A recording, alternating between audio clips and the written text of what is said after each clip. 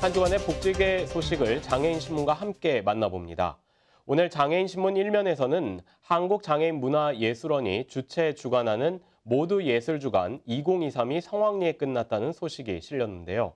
모두 예술주간은 지난 10월 개관한 국내 첫 장애 예술인 표준 공연장, 이 모두 예술극장에서 진행됐는데요. 어, 기사에서는 행사 기간 진행됐던 주요 프로그램들을 소개하고 있습니다. 특히 기사에서는 행사 기간 동안 다양한 각도에서 접근성을 고려한 기획과 운영으로 관람의 장벽을 걷어냈다는 기사가 실렸습니다.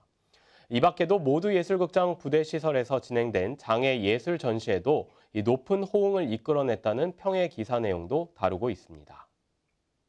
장애인신문 이면에서는 지난 8일 보건복지부와 한국장애인개발원이 중증장애인 생산품 우선 구매제도 발전에 기여한 유공자 포상 행사를 가졌다는 소식을 전하고 있습니다.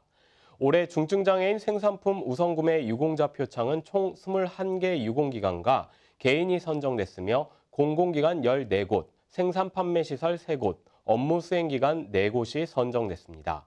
특히 공공기관 중에서는 우선 구매 금액 1위를 차지한 인천광역시 교육청과 지난 2018년부터 5년 연속 우선 구매율이 상승한 해양경찰청이 최우수기관, 구매 노력 최우수기관으로 선정됐습니다.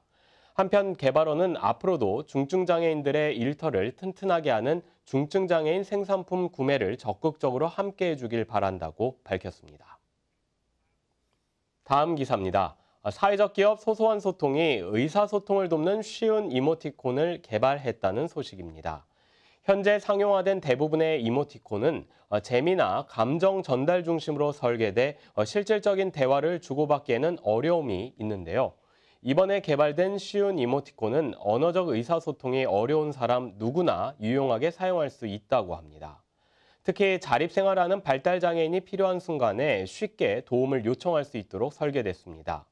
한편 쉬운 이모티콘은 네이버에서 운영하는 라인 메신저용 이모티콘에서 사용할 수 있습니다. 더 자세한 뉴스는 장애인 신문과 웰페어 뉴스 홈페이지를 통해 확인할 수 있습니다.